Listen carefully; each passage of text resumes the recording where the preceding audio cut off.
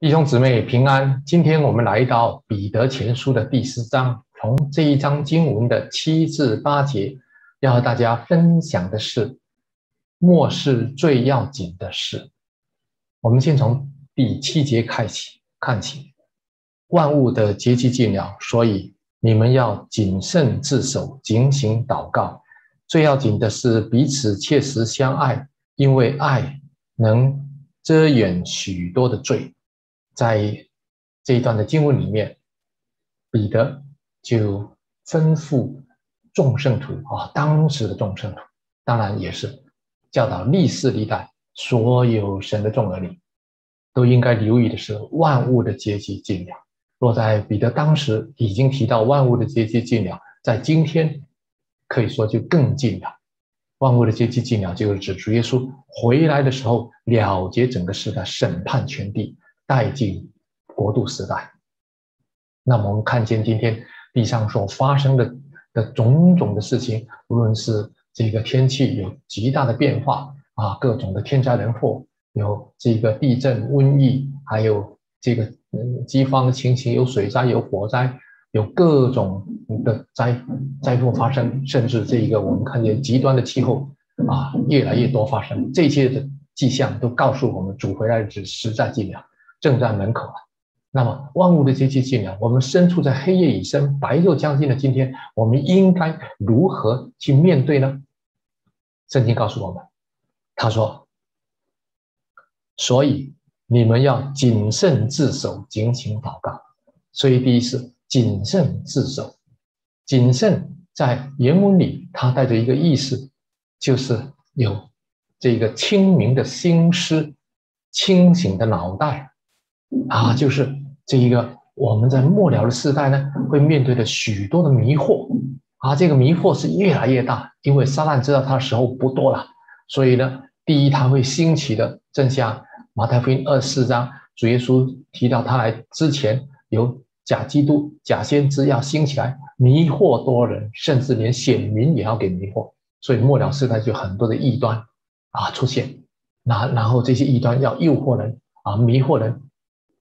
离开神的圣经真道，还有末了世代有各种的这一个意识形态的啊各类的教训之风，而这一类的教训之风呢啊，无论是啊教导人世界怎么发财的啊，怎么在世界里面啊如何去去赚钱发财成功的，还有有的是哇整个社会动荡，有各种的思潮，各种的潮流一冲击来的时候呢，有时候基督徒。若是没有警醒啊，祷告没有谨慎自守，那么就很容易就被潮流冲去了。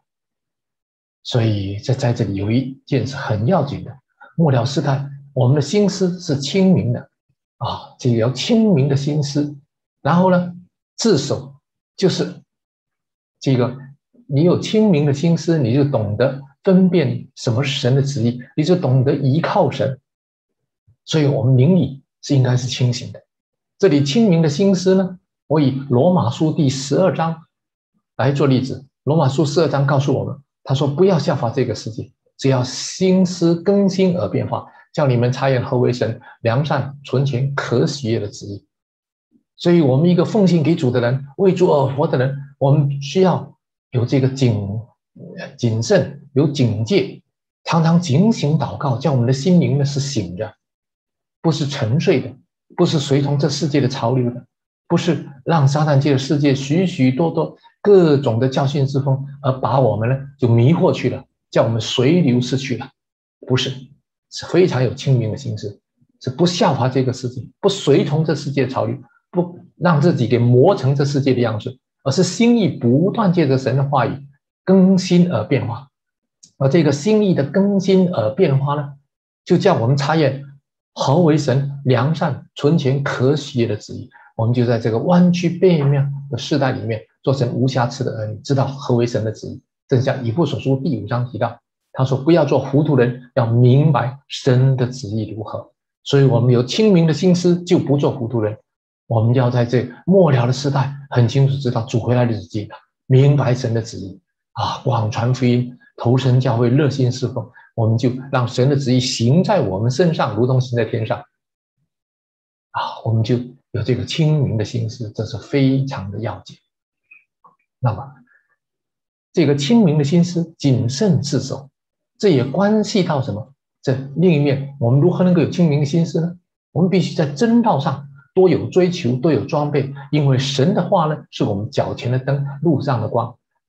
啊，神神的话能够叫愚人通达，神的话能叫我们有得救的智慧，有神全备救恩的智慧。神的话呢，能够叫我们明白神的旨意。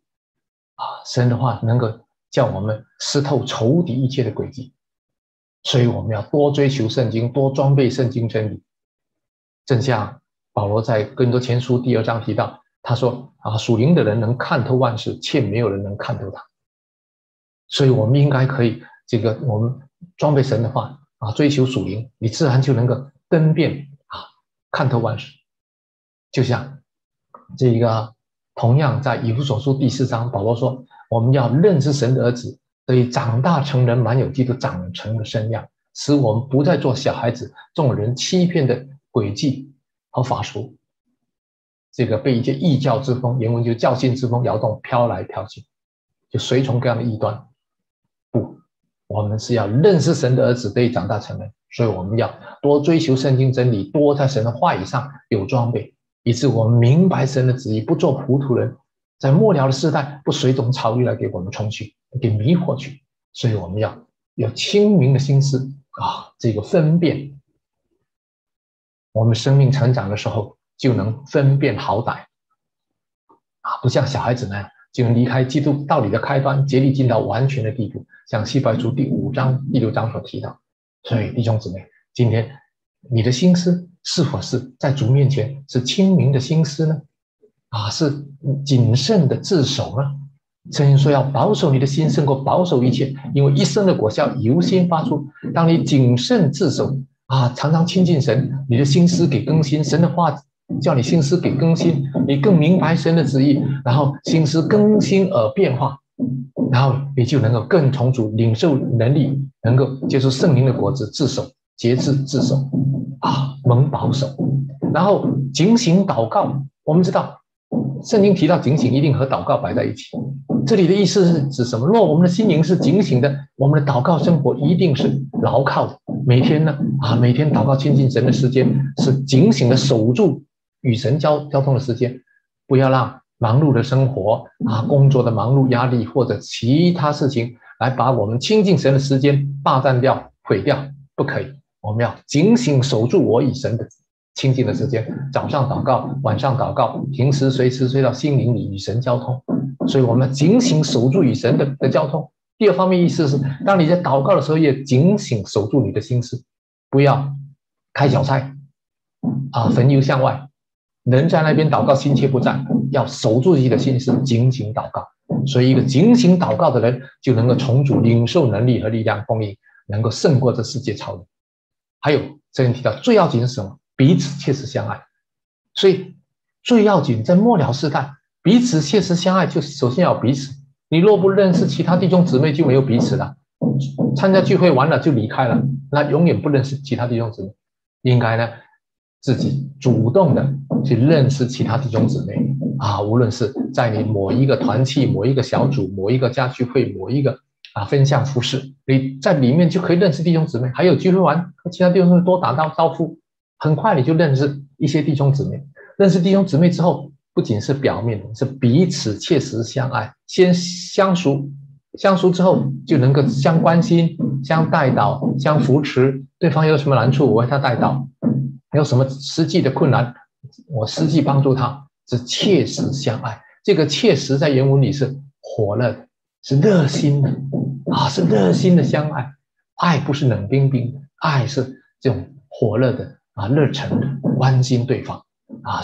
主耶稣说：“你们若有彼此相爱的心，众人就因此认识认出你们是我的门徒。”所以，求主教我们今天啊，教会在末了时代这一个只因不乏的自家多喜顿爱心渐渐冷淡的年代里，我们不要因人跌倒，我们要靠着耶稣基督遵守主的的命令，彼此切实相爱，这是最要紧的事。因为当教会在这个啊人与人之间啊充充满了勾心斗角的年代，教会能够在基督里合一，并且彼此切实相爱，圣徒有活着这种的情形的时候，就叫主得着荣耀。教会就像金灯台，明光照耀，把生命的道表明出去，叫神能够在基督里因的教会得荣耀。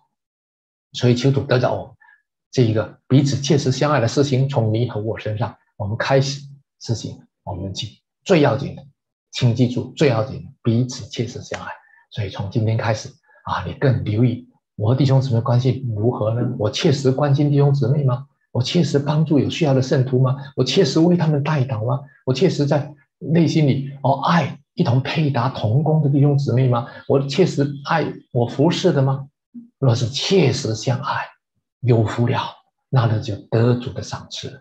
所以请谨记。最要紧是彼此切实相爱啊，因为爱能够遮掩许多的罪。这个意思不是说爱就叫你的罪就就给遮盖，不是爱遮掩许多罪的意思是指，因为你爱爱弟兄姊妹，你爱他，就叫他的心给主得着，他免得他去犯罪，就遮遮盖了许多要犯罪的事情。原本。若没有扶持，有弟兄姊妹没有人关心，没有人扶持，他往世界去，落在肉体，落在最终犯罪。那你去关心一个粗心的，关心一个软弱的，关心灰心的，你在还没关心的时候，爱的关心，叫他热心去爱主，就免去犯罪了。所以爱就能够遮掩许多的罪。所以就叫我们人人都爱神爱人，这样啊，不仅罪人许多的罪，并且是人人都彼此相爱，一同来荣耀我们的父神。教主因我们啊要欢喜。